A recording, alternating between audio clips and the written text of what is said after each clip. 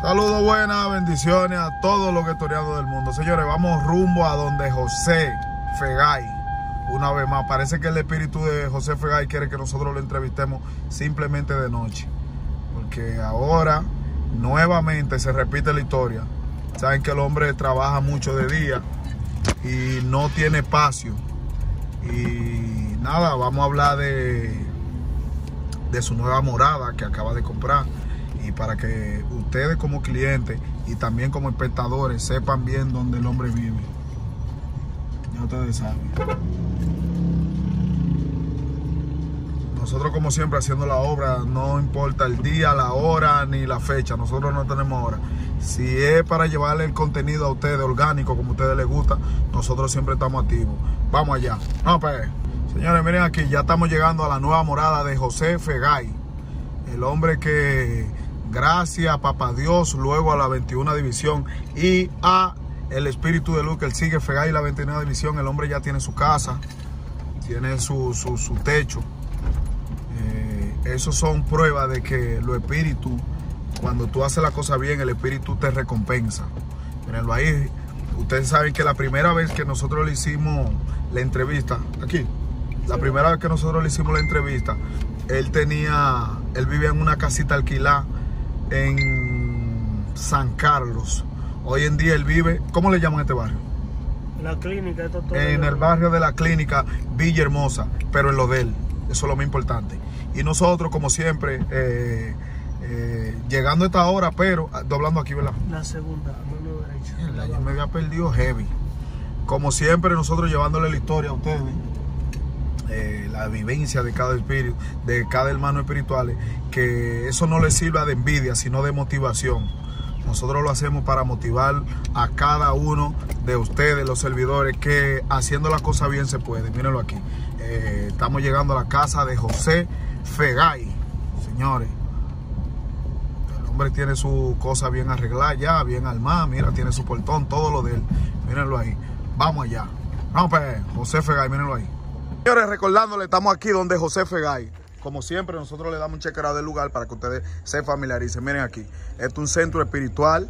Eh, José, ustedes saben, José, eh, le hicimos una entrevista el año pasado, ya en el 2021. Hace unos, ¿cuántos meses, Dani, más o menos? Como como cuatro o cinco meses. Miren, miren lo que ha logrado el hombre de aquí a allá. Miren aquí.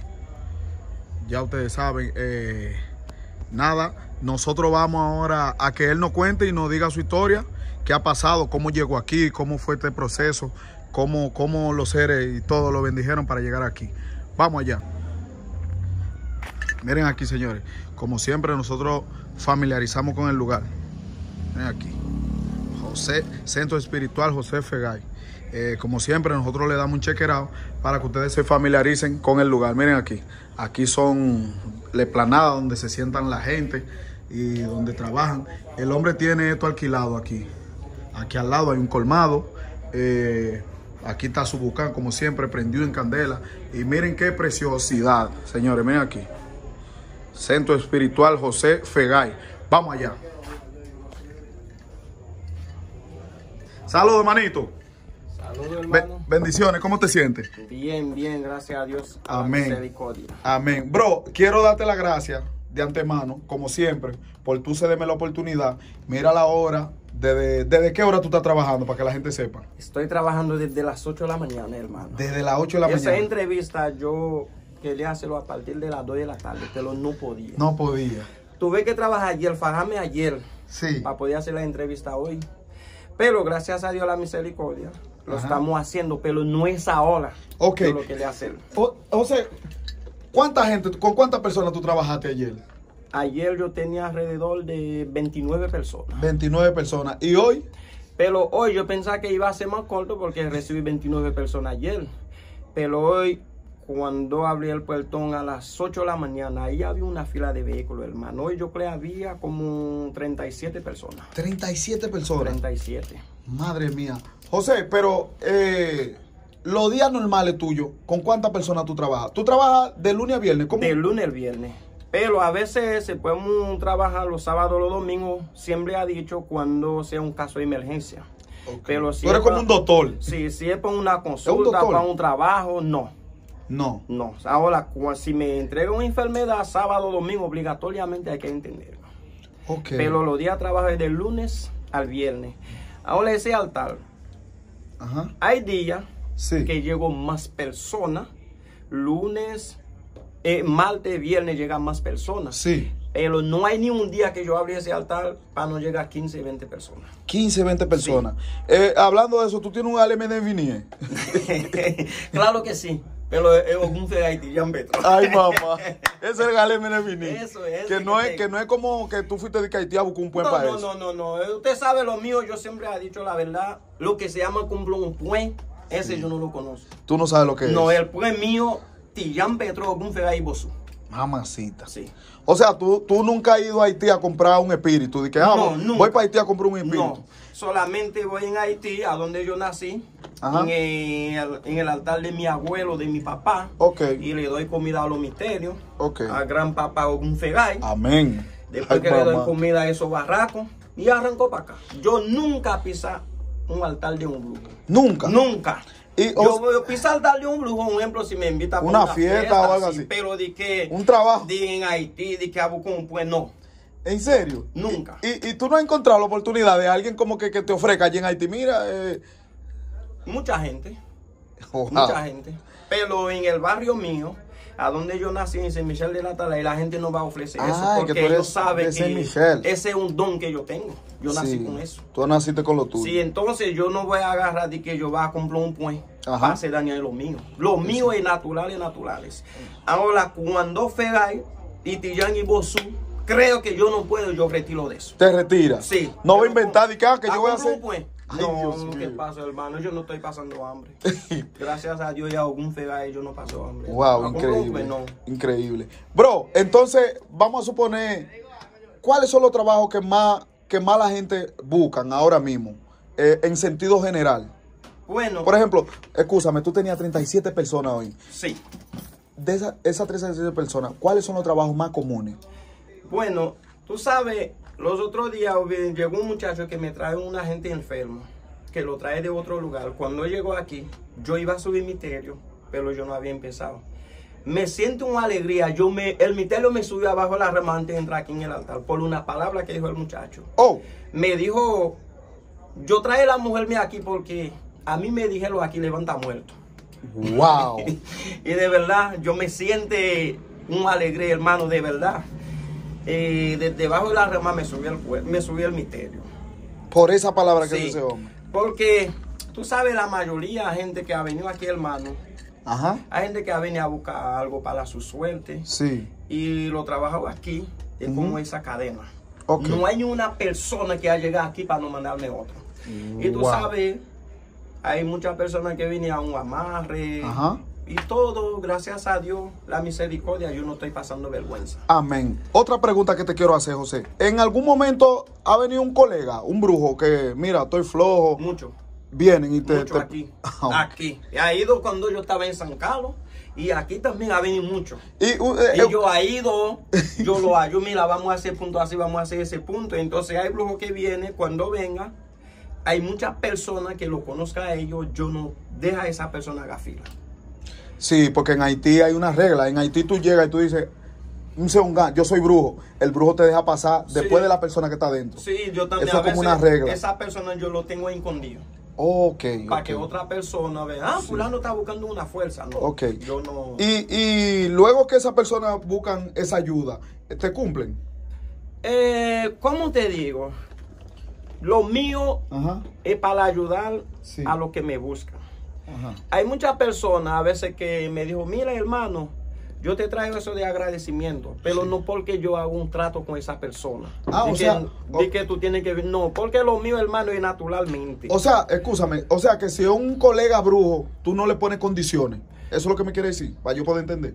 Eh, si es un colega, Ajá. yo sé, esa, es un brujo, Un brujo, que viene sí. pandemia y se siente que está flojo.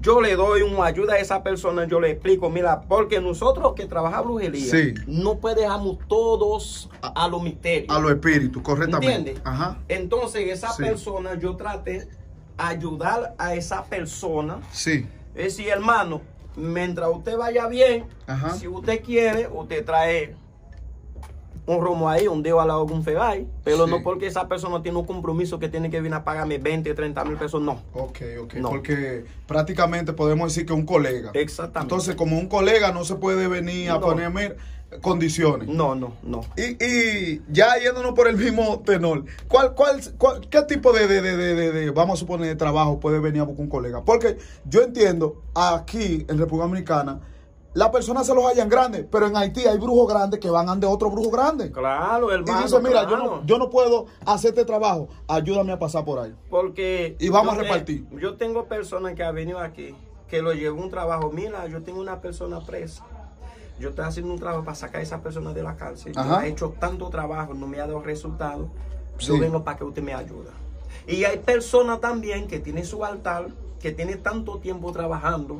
Ya llegó un momento y ve que no está llegando gente, no está dando resultados y me busca. Y yo Sí. voy en el altar de esa persona, yo hago un trabajo en el bucán Wow. y yo lo preparo y tiene que llegar su gente. Tiene que llegar la gente. Sí, y, y- y no solamente llegar, sino también encontrar resultados. Claro, claro. Ok. Los trabajos tienen que encontrar sus resultados. Exacto. Eh, José, otra pregunta. Hermano, como te iba diciendo, quiero hacerte una pregunta personal. Sí. Eh, tú sabes que yo tengo muchos seguidores. Sí. Y en una, en una de la otra entrevista que yo te hice, un seguidor te hizo una pregunta y me llamó mucho la atención. Ese seguidor preguntaba que él era eh, como poco conocedor de la 21 división y él quería saber qué tipo de ayuda tú podías darle para él introducir y tener no tanto la experiencia como tú, pero si no aprender algo. ¿Qué tú le puedes decir a esa persona? Eh, tú sabes, hermano, Ajá. el que no nace para trabajar brujería, usted puede ir a comprar un diablo, al final todo te va a salir mal. Wow. Todo te va a salir mal. Ajá. Por eso yo siempre he dado un consejo Sí. a los colegas míos. Si usted siente que la cosa no te está saliendo bien, mejor llama a otro brujo que te da un apoyo, te da una mano. Pero esa persona, un ejemplo, hay personas que le sube un misterio.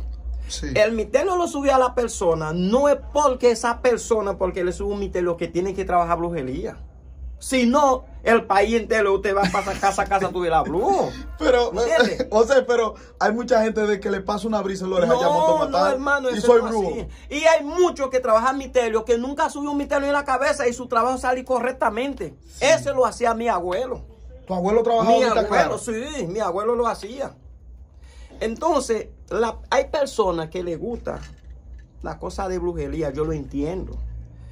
Ahora, esa persona, yo no le puedo dar un consejo, tú tienes que poner a trabajar. Ahora, si la persona le sube un misterio, Ajá. a través de ese misterio que le sube a la persona, si la persona, la persona se puede bautizar, pero no es para trabajar. Porque si usted no nace con ese don, yo no te Con puedo ese don decir. de trabajo. No, Porque hay personas que sirven, es pa- tú, ta- tú naciste para ser servidor, no para, para servir. Porque hay personas, en vez de servirle a los espíritus, quieren servirle a los demás, a lo, a lo humano. Entonces tú, tú le aconsejas que, que, que- que tú le dices que si tú no naciste para eso, no te enfoques. Oh, ahorita lo que va a hacer, los trabajos salen mal, ahorita agarra y se retira, entonces lo pone a criticar a nosotros. Por eso yo no puedo poner a la persona, mira, sí, vamos a hacer esto, vamos a ayudarte para tu trabajar. No, ok. no. Y, y cómo una persona puede saber que tiene el llamado espiritual para ser brujo. Ok. Esa persona le subió un misterio en la cabeza Ajá. y ese misterio, primera vez que sube, segunda vez que sube, tercera vez ya tiene que hablar. Sí. Y entonces esa persona obligatoriamente tiene que tener un apoyo de otro brujo que ya tiene más conocimiento Sí. y le va a decir, mira, tú puedes trabajar. Sí. Y, y el mismo misterio lo va a avisar a la persona en el sueño qué tipo de trabajo que tiene que hacer. Porque hay mucho trabajo yo hago en el sueño que me lo enseñaron. O sea, tú a veces un trabajo viene, tú no tienes que llamar al espíritu porque ya el no, espíritu no, te indica. no, yo tengo mucho trabajo que yo llamo misterio. Un ejemplo, ese caso, tú no llegas y te va a dar un detalle. Usted me hizo una entrevista, todavía no tiene un año en San Carlos. Sí. Yo vivía alquilado. Vamos, vamos a hablar de eso ahora, vamos a hablar de vamos a llegar ahí. Es ahí que yo voy a llegar Sí. con ese tema. Tranquilo, vamos a llegar ahí, páralo ahí entonces. Ok, o sea, tú hablaste eh, minuto atrás que tu abuelo tra- ok, por trabajaba- eso yo iba a tocar ese tema, Sí, porque mi abuelo, ajá. A veces tú llegas en el altar de mi abuelo para hacer un trabajo. Mi abuelo nos llama misterio. Y a veces hay trabajo que le da brega a él para salir y él se acuesta en su altar. Y ahí mismo el sueño lo explica todo y ese me ha pasado. Yo tengo trabajo, a veces yo llamo a Fede, llamo a Tillán, porque hay personas que tienen un resguardo. Cuando la persona tiene un resguardo, es difícil Ajá. usted hace un trabajo para ese trabajo entrar esa persona. Entonces, ¿Cómo? Escúchame, escúchame. Cuando una persona está resguardada y, va, y otra persona va dando un brujo, es difícil que le entre el ok, trabajo. por ejemplo, Colan, tú tienes un resguardo Ajá. y vino una mujer aquí para hacer un trabajo, Ahí un vamos. amarre. Sí. Para hacer ese trabajo de amarre. Oigan ahí. A veces se dice, mira, yo hice un trabajo, no me salió, el brujo no sabe trabajar. No eso. Tú tienes un resguardo. El misterio que te dio ese resguardo, todos los misterios se unen en uno. El misterio que, de- que te dio ese resguardo es para protegerte. Sí. Entonces, más fácil, yo hago un trabajo, lo entra usted que tiene un resguardo sin meterlo en la cabeza. Oye, Ahí entra más fácil Oh. que hacer un trabajo con un misterio. ya estoy entendiendo que muchas veces cuando el misterio, por ejemplo, Ogufegay, Sí. y la persona tiene Ogufegay también, y tú le, y el ser ve que a la misma gente que resguardó, el trabajo no sale. No sabe. Mira. Pero usted puede hacer ese punto sin meterlo en la cabeza. Entonces, con, sin el- Ahí, ahí entra. Anda diablo. Ahí- pero ese punto hay que saberlo. Anda al Hay que saber hacerlo. Entonces, eso era lo que hacía tu abuelo y eso es lo que tú haces ahora también. No solamente eso, pero ese yo lo hago también. Sí, también es lo que digo. Porque hay muchos, porque yo tengo muchas personas fuera del país que me llaman para hacer trabajo. Y cuando yo estoy haciendo ese trabajo de la persona, yo, te- yo subí misterio, yo no subí misterio. Y el trabajo de esa persona sale como si fuera aquí presente, como si fuera con misterio en la cabeza. Ahora, yo hago ese trabajo así con la cabeza fría, pero yo deposito ese trabajo en nombre de un misterio. Pero el trabajo yo lo hacía tanto a mí. Bien. Porque bueno. yo no lo voy a decir. Ah, me llaman allá afuera para hacer un trabajo. Ah, si yo estoy trabajando en la cabeza con Tillán Petro. Tillán habla por teléfono. O con Fe habla por teléfono. No, yo hago el trabajo a tanto a mí.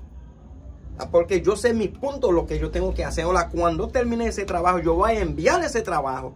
Si es con si es Tillán, como Tillán, que más viaja que Toito, yo deposito ese trabajo con Tillán Petro. Ok, wow, qué bien, qué bien, bien, bien especificado, bien explicado. José, pero una pregunta. Eh, tú sabes que muchas personas están fuera del país. Sí. Necesita un trabajo grande y esa persona no puede venir aquí. Entonces, eh, no es como mucha gente que agarran el teléfono, ¿verdad? Y se hacen pasar por los misterios. Tú- No. Lo tuyo es legal. Mira, soy yo que te voy a trabajar, soy yo que estoy hablando. Tú depositas el trabajo al nombre de ese espíritu, hace la expedición, Hoy como mismo decimos. yo hice dos consultas a personas fuera del país. Ok. Lo llama a la plaza que trabaja conmigo, lo llama a ella, yo tenía Fegay, hoy yo trabajé con Fegay. Agó. Y trabajo con Fegay, entonces lo llama y lo hice la consulta. Sí. Ahora, cuando una persona, yo estoy hablando con la persona que Ajá. quiere saber algo, yo agarro un velón de siete potencias, yo pido el nombre de esa persona, lo escribí siete veces, lo pone por debajo de ese velón, como si fuera tú estás leyendo una carta. Porque yo no trabajo solamente con mi telo en la cabeza. Yo trabajo con la cabeza fría también. Mira, Porque ese, legal. ese es un don que te va a decir que yo nací con eso. No toda la persona porque yo soy ese feo, te me va a llamar por teléfono. No, te está hablando con Fegay. No, no. Usted va a hablar con Fegay si usted viene aquí personal. Ahora, usted llama a la persona que trabaja conmigo. A tanto yo tengo el espíritu en la cabeza, usted habla con el misterio. Pero no soy yo con fe en la cabeza que va a agarrar un teléfono y hablo contigo. No. Bien, No. bien, bien, bien, bien. Eh, bro, bueno, vamos a llegar al punto donde todos quieren llegar, como dice el legado. La primera vez te hago una entrevista. En la San Carlos. en San Carlos, en una casa alquilada. Sí. Y de repente ahora tú vives en esta mansión. Háblanos de esto. Hermano, siempre te digo, yo tengo agradecimiento a Fegay. Yo nunca tiene, va a terminar de hablar de algún Fegay. Cuando tú me hiciste la entrevista, todavía no tiene ni un año. No. A donde yo estaba en el callejón, todavía tengo un agradecimiento. Esa señora, cada vez yo voy allá, lo lleva a su romito y lleva sus 100 pesos, porque no todo el mundo en el pueblo No, que te va a alquilar una casa. Y para que tú veas, yo te ti lo mío, después de Dios. En San Carlos yo, allá- yo hacía prille gaga.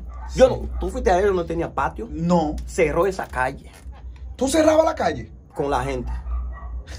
Capo, ¿cómo Yo hago prille y gaga y matar animales ahí. Ahora, la última fiesta que yo iba a hacer, yo lo hice aquí el, me- el mes antepasado de octubre de tres días. Esa fiesta tocaba en San Carlos. Y yo lo dijo a algún fegay. Mientras que no me dé un patio, yo no hago más fiesta. Yo retiro de los misterios. Y en menos de un año te la dio de que tú dijiste. Menos de un año. Yo hice la entrevista en abril, en, en abril. Ya en junio yo compré esa casa. Y yo estoy aquí desde agosto. Compré esa casa. Hice esas dos habitaciones para trabajar. Hice esa rama. Ya esto nadie puede decir a mí, mira, llegó la ola, ya tú no puedes trabajar más. Mira, yo no quiero más bulla. No. Gracias a Dios a los misterios. Ahora yo compré esa casa. Te voy a explicar cómo es. Señor. Yo compré esa casa a través de una persona. Esa persona me llevaron una gente enferma. Esa persona lo anda con esa persona en diferentes lugares aquí en la Romana. Lo llevaron también para el sur. No encuentra los resultados. Ellos fue allá a hacer una consulta. Y subió Tillán Petro. Lo explicó todo, todo. Ellos se quedó dudosos y se fueron para afuera. Llevarlo para Estados Unidos. De Estados Unidos llevarlo a Japón. De Japón lo llevarlo en China. Y cuando Pero China- literalmente, Sí, literalmente. Sí, la persona es de aquí en la Romana. Wow. Es hijo de un No, no, pelotero no recién llegado de, de Sí. Grande Liga.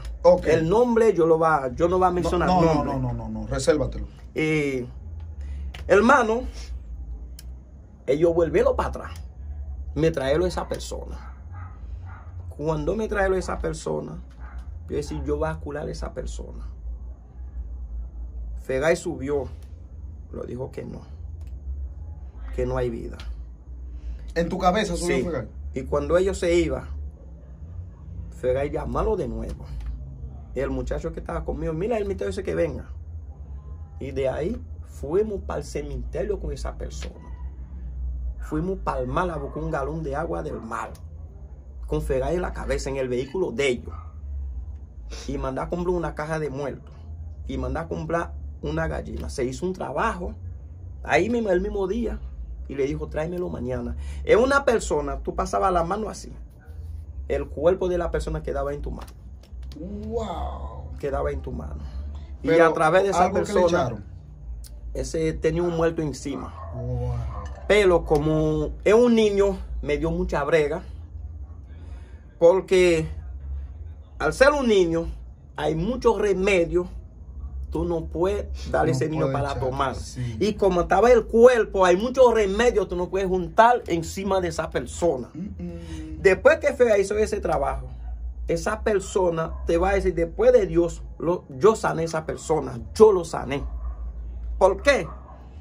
Yo amanecí hasta tres noches en el cementerio, buscando remedios por todos lados, y Wow. curé a esa persona. A través de esa persona yo estoy aquí hoy. ¿Y cómo, cómo esas personas llegaron a ti? ¿A través de cómo? ¿Cómo te Esa persona Ay, llegó a través de un amigo que tiene un amigo que estaba mal, me llevaron en el altar. Wow. Y lo dijo, si usted lo llevan de José Luis y no te cura, Busca no busca, no busca más brujería. Gracias a la misericordia. Y cuando llegó, pan de mi verdad, eh, yo no lo iba a recibir. Porque de verdad, llegó la persona, yo estaba llorando. Porque cuando lo vi a esa persona, yo tengo todas las fotos de la persona, te va a enseñar, pero después. Te lo voy a enseñar personal. Te va a salir lágrimas. Es un niño de 8 años. No, no, no me lo enseñes. Eh, de verdad, esa persona no tenía. Tú pasabas así. no él- tenía piel. no. Era un muerto que tenía encima.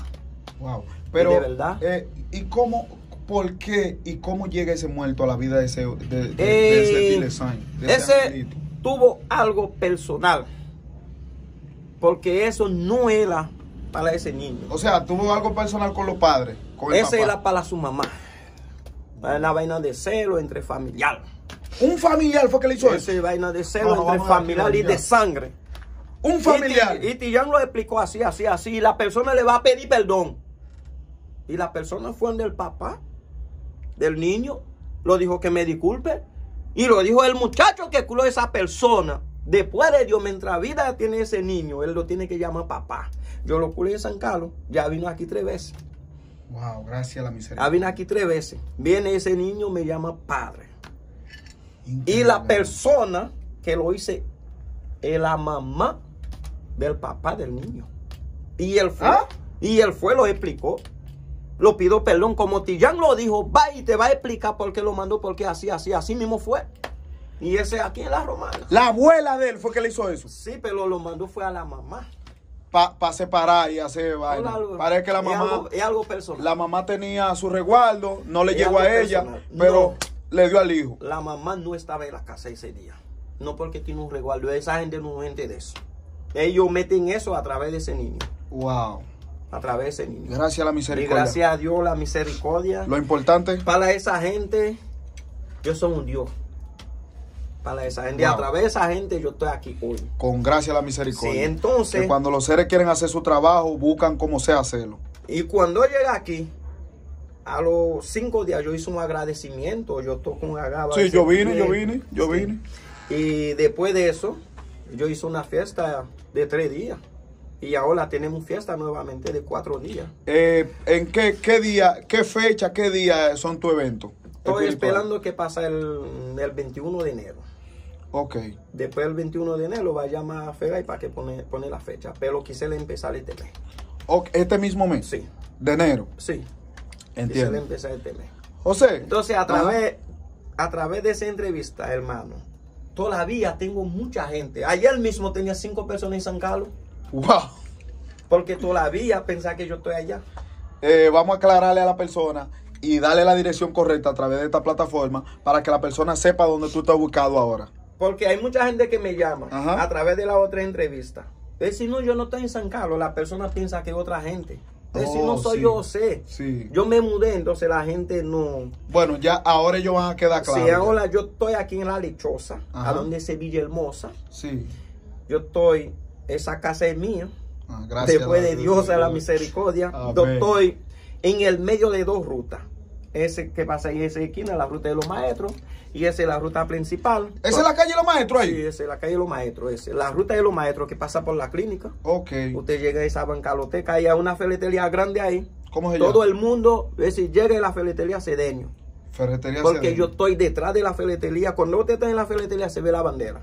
Ok. Usted coge una guaguita que va en la ruta normal, te va a dejar en la ferretería. Usted coge la guaguita de los maestros, te va a dejar en la ferretería. Yo estoy detrás de la ferretería. Gracias a la misericordia. José, algo más que tú quieras agregar, que tú quieras decirnos.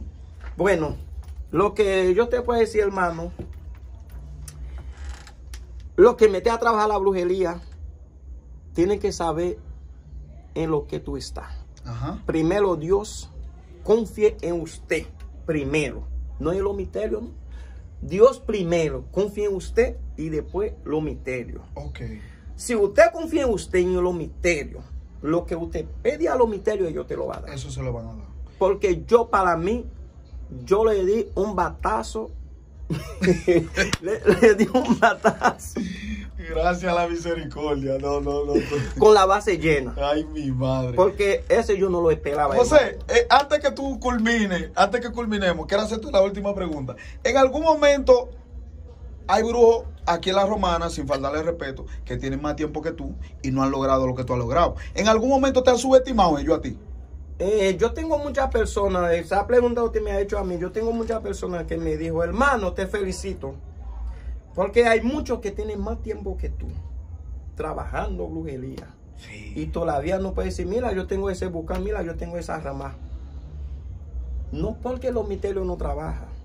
A veces somos nosotros que son charlatanes, que somos sinvergüenza. No, yo me voy ahí, José es demasiado. No, es que somos nosotros, que somos real, sinvergüenza, hermano. Real. Porque aquí nadie te va a decir que vine a hacer un trabajo que José Luis cobra 3 mil pesos ni 4 mil pesos antes, antes del resultado. Yo que trabajo aquí por chilata. Pero los misterios no me dejan pasar vergüenza. Amén. Yo tengo gente que ha venido aquí, yo hago un trabajo. Ese hermano, eh, te va a hacer ese. La persona anda con 50, 30 mil pesos y aquí no gasta ni 2 mil. Wow. Pero los misterios, yo tengo gente que ha llegado aquí. Toma ese 10 mil sin saber quién es, toma ese 20 mil de agradecimiento. Sí. Lo que pasa es nosotros que, me- que metemos en eso. ¿Usted Ah. cree que yo voy a trabajar con Ogun Ferreira y Jan Petrodula 5 o 7 años trabajando a ellos ahí? Y no tengo a dónde recibir una persona. No tengo a dónde prender una candela a ellos. Ese somos nosotros que son sinvergüenza y charlatanos. No, los misterios no dejan a nadie pasar vergüenza. Bueno, señores, antes de despedirnos, José, danos No. tu número de contacto nuevamente, por favor. Eh, 809 Ajá. 949 8374.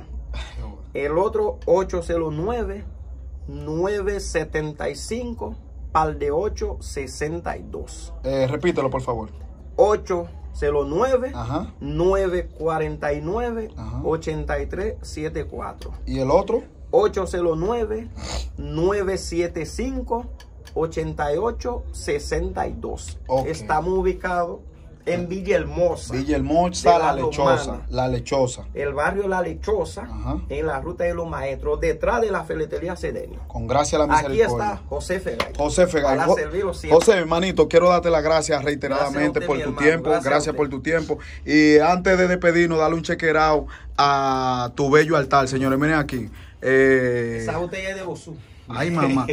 Esa es botella de Bosú. de Bosú. Madre mía. Miren aquí. Gracias a la misericordia. Eh, señores, miren aquí.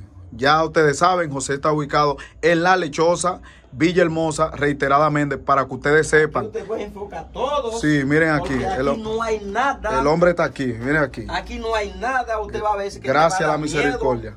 Que aquí, aquí, no hay, no. No. hay nada de terror ahí, de No, que, que no, la no, gente no, pueda... no, es todo aquí, hermano, es naturalmente. Guinea. Solamente usted sabe, hay su punto, Sí, que sí, es sí. un respeto. Eh, lo somos la fueguine. La Full Guinea, con gracia la misericordia. Gracias, hermano, que pase buena noche, Gracias, bendiciones. hermano. Gracias por tu tiempo, hermano. Gracias. Amén. Gracias a cada uno de ustedes, los vetorianos, por siempre estar apoyándonos en todos los eventos espirituales. Rompe.